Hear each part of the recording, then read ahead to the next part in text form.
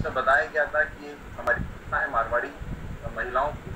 और उसमें बहुत बड़ा organisation six hundred and twenty five branches हैं more than twenty five thousand महिलाएँ इसमें जुड़ी हुई हैं। और इसमें एक बहुत अच्छे सोशल कॉज को लेकर that is of eye donation को लेकर बड़ा कैंपेन आने वाले हैं, बड़ा ऑनलाइन प्रोग्राम करने वाले हैं। क्या उसके संबंध में हमसे पूरा रिकॉर्ड तो हमने उनको पूरी हमारी प्रोसीजर समझाई, बताया कैसे क्या अप्लाई करना है, क्या करना है। और आज की पूरी टीम ने बहुत अच्छे से वर्कआउट करते हुए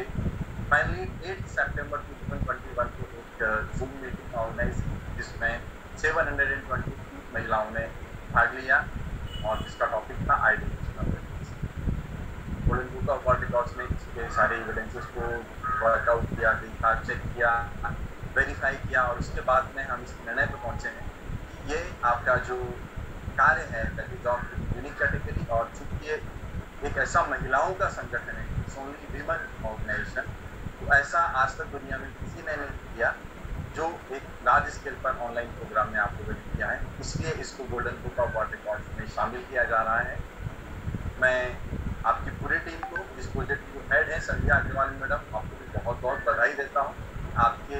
मार्गदर्शन में आपने इस पूरे प्रोजेक्ट को बहुत अच्छे से एग्जीक्यूट करवाया और उससे महत्वपूर्ण इस पूरे ऑर्गेनाइजेशन की जो आज वर्तमान में अध्यक्षा हैं, शारदा लखोटिया मैडम जी और सचिव मैडम लेखा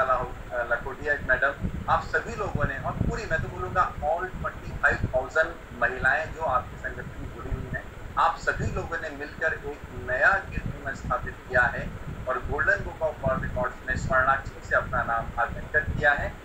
इसका प्रोविजनल सर्टिफिकेट